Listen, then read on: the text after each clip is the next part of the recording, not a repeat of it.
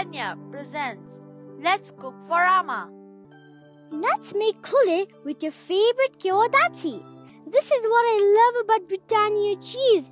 It melts quickly and gives a rich cheesy taste.